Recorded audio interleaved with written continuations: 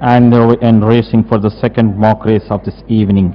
Even dispatched from the gates by all the five contenders. As they settle down to race, it's ex- Exclusive Wind who takes initiative and goes into the lead by about two lengths in front of Western Wind is in second place, making a forward wind and side railing as Rolls Royce in third place, another two lengths further behind is Silver Dollar, and last to fall is Al Sadr.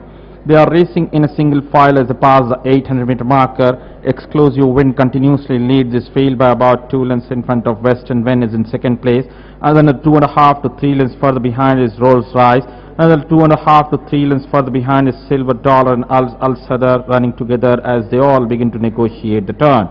Round the turn into the straight, exclusive wind comes in on first, very close behind the inside railing is Rolls Royce, another two and a half lengths further behind is Western Wind, making a forward when the wider outside is Silver Dollar and last of all is Al Sadr.